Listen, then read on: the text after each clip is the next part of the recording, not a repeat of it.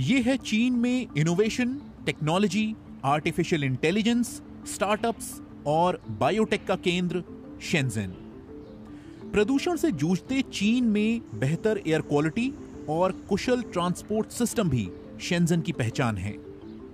एक आंकड़े के मुताबिक इस शहर की अर्थव्यवस्था हांगकांग और सिंगापुर के बराबर है.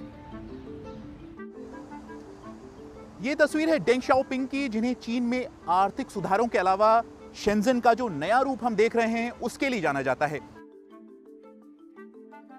40 साल पहले यह जगह एक छोटा सा गाँव हुआ करती थी, लेकिन आज इसे दुनिया का मैन्युफैक्चरिंग या टेक्नोलॉजी का केंद्र माना जाता है।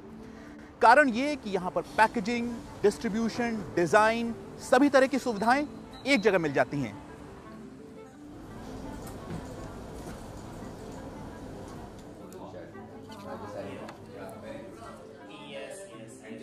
कह सकते हैं कि हमारी पूरी की पूरी लर्निंग हुई है।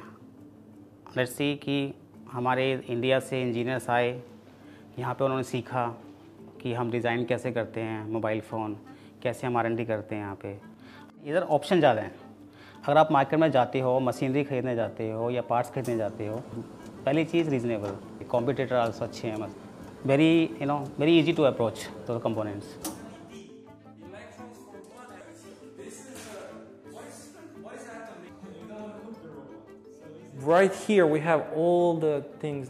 यहाँ शेंजेन में हमारे पास अपने प्रोग्राम तकनीक का विकास करने के लिए हर सहूलियत मौजूद है।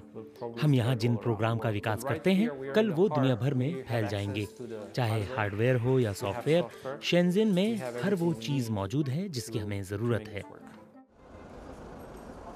सरकारी सब्सिडी ने शेंजन को स्टार्टअप्स के लिए और आकर्षक बनाया है। जैसे स्मार्ट हेलमेट बनाने वाली कंपनी लिवॉल को रिसर्च, पेटेंट और ट्रेडमार्क के लिए सरकार से 25 मिलियन आरएमबी मिले, जिसकी मदद से कंपनी ने दुनिया के कई देशों में अपने बिज़नेस फैलाए।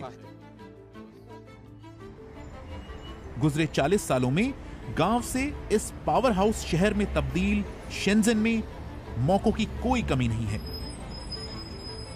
विनीत खरे बीबीसी शेंजन चीन।